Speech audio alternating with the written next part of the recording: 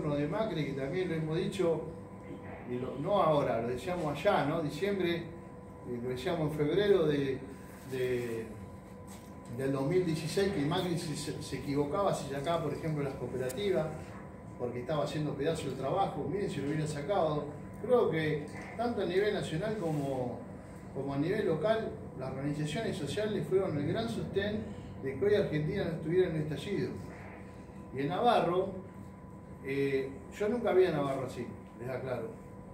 Nunca lo vi en el contexto laboral y social como está Navarro. Y creo que somos grandes protagonistas para que Navarro esté bien. Entonces, la verdad que a veces como la vida uno necesita un mimo y no una cachetada. Y, y nosotros nos vamos de la gestión municipal, pero vamos a seguir haciendo lo que hacemos con el movimiento Vista todos los días, a la mañana, a la tarde, sábado y domingo. Daniel, ¿cómo van a pero sí- el trabajo?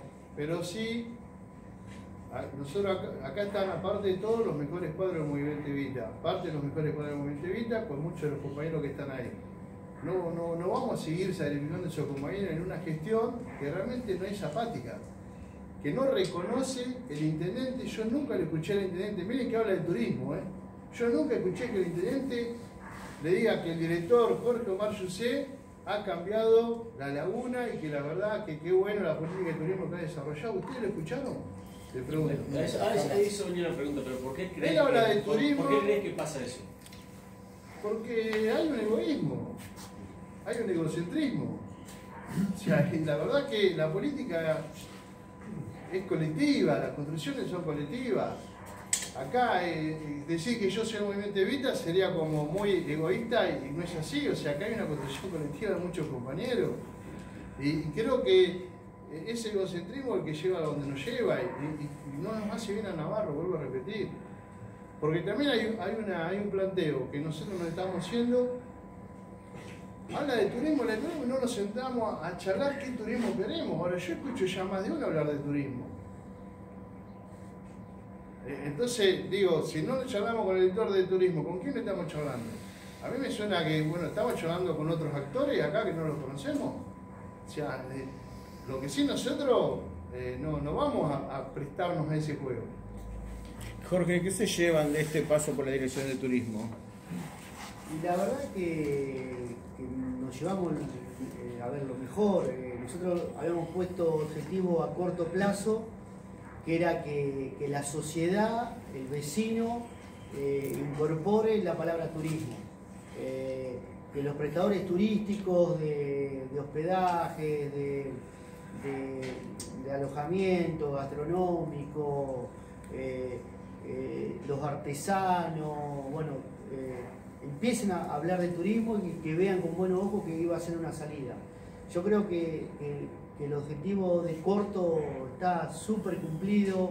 Hoy ya un vecino cree con buenos ojos que, el turismo es una salida para Navarro. Eh, lo de la laguna que tuvo años eh, prácticamente al abandono, porque te lo dicen los propios trabajadores que están ahí, las chicas que están en los baños, eh, eh, el personal que, que- que- vio en buenos ojos que nosotros de lunes a lunes estábamos, estemos preocupados por ello. Y bueno, la verdad que eso se logró. eh, nosotros en una segunda etapa, que ya de hecho eh, cuando hablamos de humildad muchas veces nos pasa que esas cosas no las decimos. En la segunda etapa era darle una impronta muy importante con medios nacionales. Uno tiene acceso a, a- a a seguir promocionando Navarro, por, hasta por mis laburos anteriores que, he tenido en Buenos Aires. Bueno, la segunda etapa era, era eso, promocionar más Navarro con, medios nacionales. eh, bueno, y por eso necesitábamos también que la laguna esté en óptimas condiciones. Se logró, eh, falta muy poco, eh, se, se arreglaron los baños, se hicieron más mesas de fogones, se arboló muchísimo, se pintó. y la verdad que, que bueno, nos, vamos con eso, con el reconocimiento que hoy un restaurante, un dueño de un restaurante de campo, por citar eh, eh, un ejemplo, te diga, che, la verdad que eh, ustedes en su centro de información nos, llevaran, nos llevaban turistas, nos, nos- llevaran clientes, se trabajó mucho en folletería, se trabajó mucho eh, en, las, redes. Acá hay un compañero que, es Fede que, también, cuando nosotros le planteamos a Santiago, nosotros queremos, está bien, aceptamos lo de turismo, pero también que las áreas municipales trabajen en, nosotros, que nos ayuden.